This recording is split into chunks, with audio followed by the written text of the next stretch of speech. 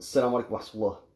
إن الحمد لله نحمده ونستعينه ونستغفره ونعوذ بالله من شرور أنفسنا ومن سيئات أعمالنا. من يهده الله فلا مضل له ومن يضلل فلا هادي له وأشهد أن لا إله إلا الله وحده لا شريك له وأشهد أن محمدا عبده ورسوله وصفيه وخليله.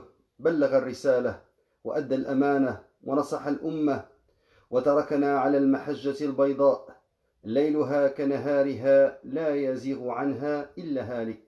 فصلى الله عليه وعلى آله وصحبه. ومن سار على دربه واستنى بسنته إلى يوم الدين يا أيها الذين آمنوا اتقوا الله حق تقاته ولا تموتن إلا وأنتم مسلمون.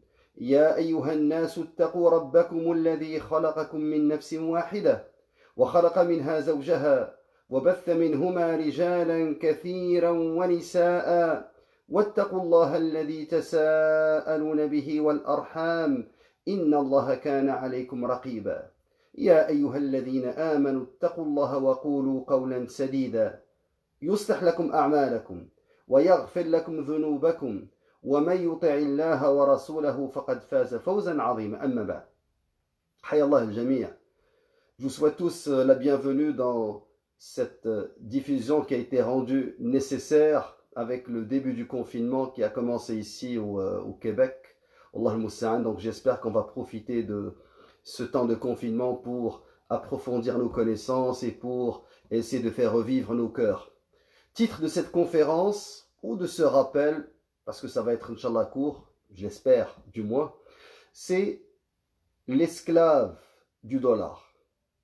Vous savez, notre Ummah, mes chers frères et sœurs, c'est une Ummah qui n'a pas été envoyée à l'humanité pour bâtir une civilisation matérielle.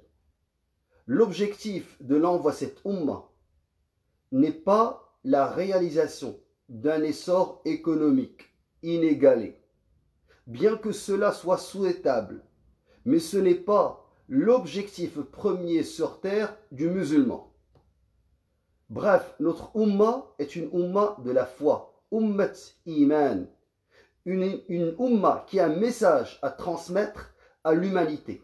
Et les individus qui composent cette Ummah, les musulmans, se distinguent avant tout par la foi qui les anime et le message qu'ils sont censés transmettre à l'humanité. Alors, vous comprendrez alors le capital, vous savez, dans le, système capitaliste, on insiste sur le capital. Alors, le capital du musulman est sa foi. C'est le bienfait le plus important qu'il doit non seulement préserver, mais aussi faire fructifier. Alors, pour ce faire, pour parler de, ce phénomène qui est celui de, des esclaves du dollar, les gens qui vivent pour dunya, qui vivent pour les biens matériels, qui vivent pour réaliser, pour fructifier leur capital seulement. Ça devient leur premier objectif sur Terre. J'aimerais faire un rappel à moi-même et à mes frères et sœurs ce hadith rapporté par Abu Huraira radiallahu anhu. Il a dit, le prophète alayhi a dit, Ta'isa dinar والدرهم والقطيفة والخميصة إن أعطي رضي وإن لم يعطى لم يرضى Alors, ce hadith qui a été rapporté par l'imam al-Bukhari dans le livre Al-Riqaq ma yuttaqa min fitnati al-mal. Donc, le, le sous-titre, c'est ce qu'on doit euh, éviter à propos de la fitna de l'argent. Alors, le prophète a dit Malheur à l'esclave du dinar, du dirham, de la katifa. La katifa, c'est un vêtement qui est fait en laine, en haute laine. Al-khamisa, al-khamisa, c'est un vêtement à motif qui peut être en soie. Si on lui donne, il est satisfait. Et si on le prive, il est mécontent. Cependant, il y a une version qui est plus longue et qui est fort intéressante toujours chez l'imam al-Bukhari, dans cette version plus longue, le prophète alayhi a dit Ta'isa abdul dinar wa abdul dirham wa abdul khamisa in u'tiya radi wa illam yu'ta sakhit ta'isa wa intakas wa idha shika falan. Donc, malheur à l'esclave du dinar. Euh, il dit malheur à l'esclave, ça veut malheur ou malheureux est l'esclave. C'est soit une invocation contre lui, soit une description de son état. Et la plupart ils ont dit, c'est une invocation du prophète wassalam, contre cet homme-là. Alors, malheur à l'esclave du dinar, l'esclave du dirham, l'esclave de la khamisa. Si on lui donne, il se montre satisfait. Et si on ne lui donne pas, il se révolte. Qu'il soit malheureux et désappointé et qu'on ne le débarrasse jamais des épines qui le piqueraient. Une autre invocation contre lui. Si une épine venait de rentrer dans son pied, qu'il ne trouve personne pour l'aider à l'extraire. Regardez, Rasul alayhi qui est connu pour sa clémence, sa miséricorde, euh, sa douceur, il invoque Allah à répétition sur ce type de personne. Et il dit qu'on ne le débarrasse jamais des épines qui le piqueraient. Et heureux, et là regardez, subhanallah, il y a par opposition à cet homme une autre figure. Il a dit Touba li abdin farasihi fi sabilillah. Subhanallah. Et Touba, c'est soit heureux, soit un arbre. On va, on va expliquer le hadith rapidement, Inch'Allah, dans les détails. Heureux, soit le serviteur qui tient la bride de son cheval dans le chemin d'Allah, tout en ayant les cheveux hirsutes et les pieds empoussiérés, et de celui qui est en garde s'il monte la garde, et s'il est aux arrières-lignes, les arrières-lignes de l'armée, et il est aux arrières-lignes, et s'il demande une permission, on ne lui accorde pas. Rasul a dit إن كان في الحراسة كان في الحراسة وإن كان في الساقة كان في الساقة إن استأذن لم يؤذن له Quand il demande la permission, on ne lui donne même pas la permission. وإن شفع لم يشفع Et s'il intercède, on refuse son intercession. Alors, ça c'est la, la version courte et la version longue de ce hadith qui est dans Sahih al-Bukhari, rapporté par Abu Hurairah radiallahu anhu. Cheikh Islam ibn Taymiyyah, il a aussi dans le Majmou al-Fatawa, il a euh, publié une version courte qui est un petit peu différente. C'est Ta'isa Abdul Dinar, Ta'isa Abdul Dirham, malheureux, l'esclave du dinar, du dirham, Ta'isa Abdul Khamisa, l'esclave de Khamisa, malheur à l'esclave de Khamila. On va voir la différence entre Khamisa et Al-Khamila. Ta'isa wa wa. Donc, rapidement, l'explication de, ce hadith, Ta'isa Abdul Dinar. Donc, il s'agit d'une invocation. Le prophète alayhi wassalam, invoque contre lui. Et si le prophète alayhi wassalam, invoque contre quelqu'un, c'est sûr que cette personne n'aura pas la baraka dans ce qu'elle fait. Et quand il dit Ta'isa, Ta'asa, c'est le malheur. Donc c'est comme si, en plus de l'invocation, il nous décrit la réalité de cette personne qui court après les biens matériels. Et subhanallah, le, Rasul il dit Abdul dinar, Abdul dirham. Le dinar, il est fait en or. Et généralement, dans l'histoire islamique, le dinar, ça vaut 10 dirhams. Donc le dirham, il est fait en argent. Et le dinar, il est en or. Alors, Rasul il nous dit que ce type de personne, cet esclave, cet adorateur du dinar et du dirham, il a dit malheur à lui, qu'il soit malheureux. Subhanallah. En plus de l'invocation, c'est la triste réalité des gens qui ne vivent que pour l'argent, qui passent leur semaine à courir pour essayer de damasser. Là, vous allez me dire, même si tu cours toute la semaine, si tu travailles à temps plein, c'est très difficile de te faire un capital. Justement, parce qu'il y a cette, cette volonté, il y a cette motivation d'aller chercher un capital pour te permettre de mieux vivre. Alors, que tu sois dans un pays sous-développé ou dans un pays riche, on retrouve ce type de mentalité. Les gens qui placent dans, comme premier objectif une, réalisation, par exemple, professionnelle. C'est leur premier objectif. Et ils sont prêts à tout faire pour atteindre cet objectif. Le musulman doit réaliser ses objectifs dans la vie. Il doit gagner sa vie décemment. Personne ne, le, conteste ce point-là. Mais ce n'est pas son premier objectif. Son premier objectif, c'est la satisfaction d'Allah Azzawajal. Il ne devrait pas se transformer en un esclave, en un serviteur de dunya, du dirham, du dollar ou de n'importe quel euh, bien matériel. Alors là, on parle vraiment du matérialisme, du capitalisme, celui qui est devenu, euh, je dirais, la norme mondiale. Les gens aujourd'hui, ils vivent et ils étudient, sans savoir pourquoi ils étudient. Ensuite, ils cherchent un diplôme, commencent à travailler, consomment, produisent. Consomment, produisent. Donc c'est une société de consommation et une société de production. Le musulman dans cette vie, il a un objectif. Allah Azza wa dit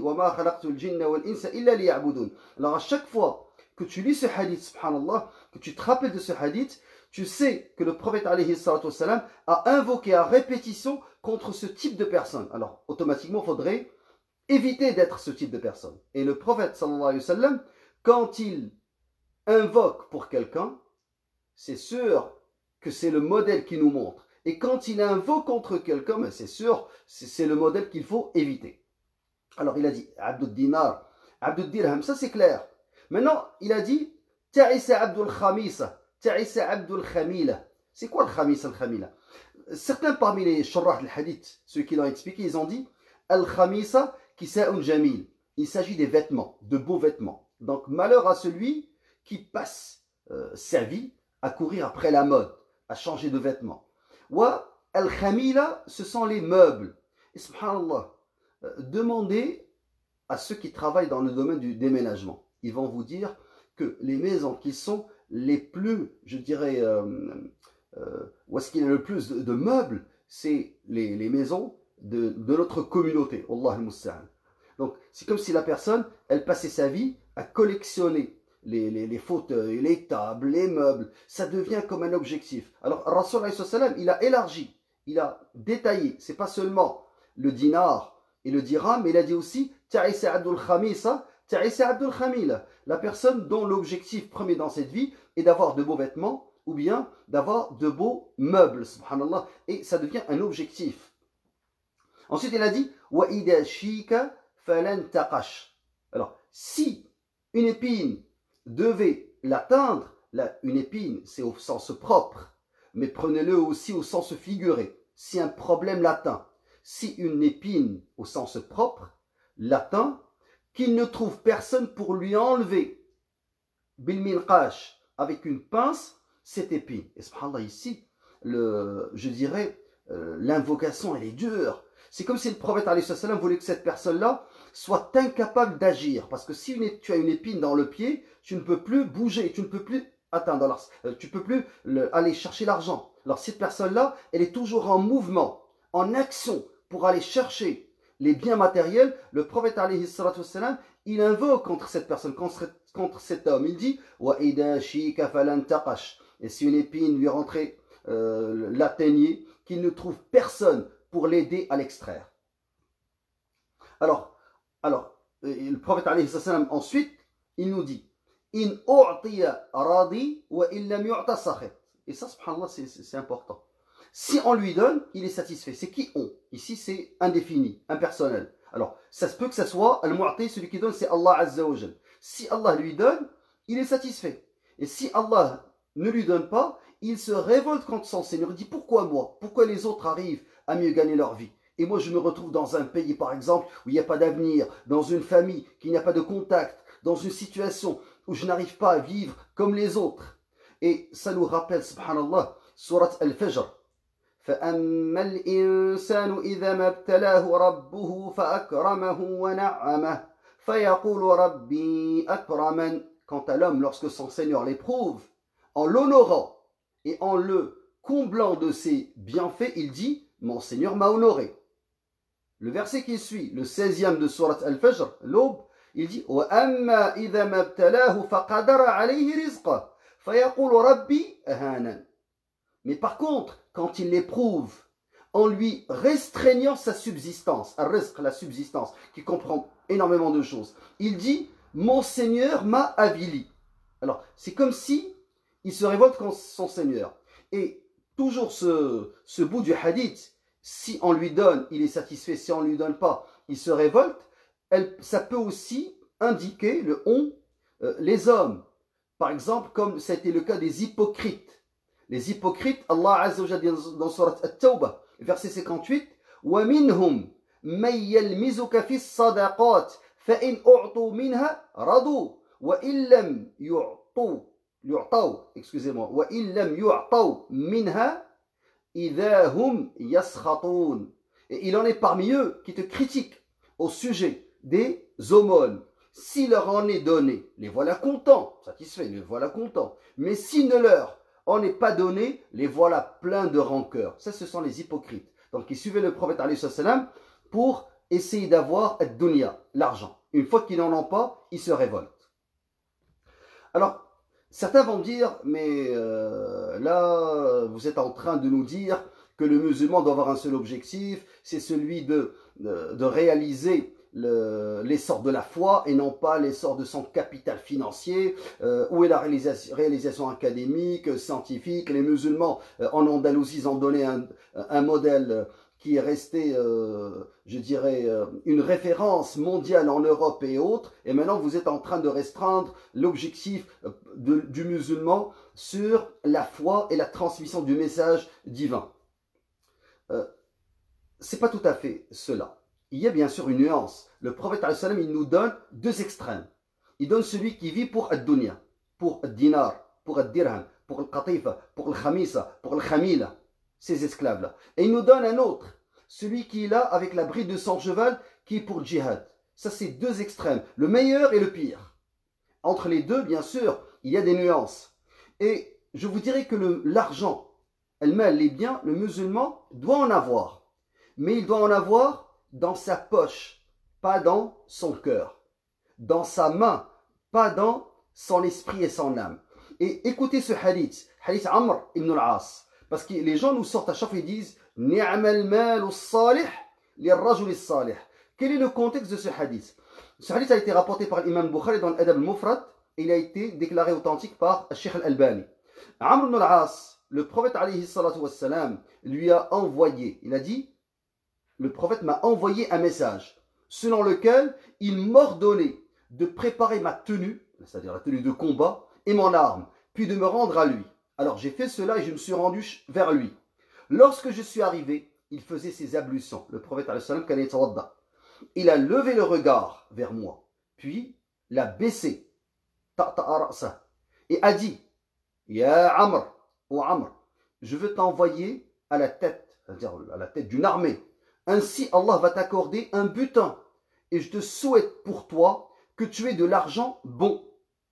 La réponse d'Amr ibn al-As anhu. J'ai dit, certes, je ne suis pas rentré dans l'islam par envie d'argent. Je suis rentré dans l'islam car je voulais l'islam et être avec le messager d'Allah. Alors le prophète sallallahu alayhi wa a dit, Ni'amal malu salih lirrajuli salih. Oh Amr, quelle bonne chose est l'argent bon pour un homme pieux. Donc regardez le contexte, subhanallah. Même quand le prophète lui a dit, tu vas aller à la tête d'une armée et tu vas réaliser un butin considérable, il a dit, je ne t'ai pas suivi pour cela. Je t'ai suivi pour autre chose. Et là, le prophète lui a dit, non. L'objectif, c'est que les gens rentrent en islam, mais si tu arrives à réaliser un butin, tant mieux pour toi, tant mieux pour l'homme pieux. Alors, regardons maintenant, subhanallah, le, le deuxième modèle. Et regardez la différence énorme. Grande différence entre les deux.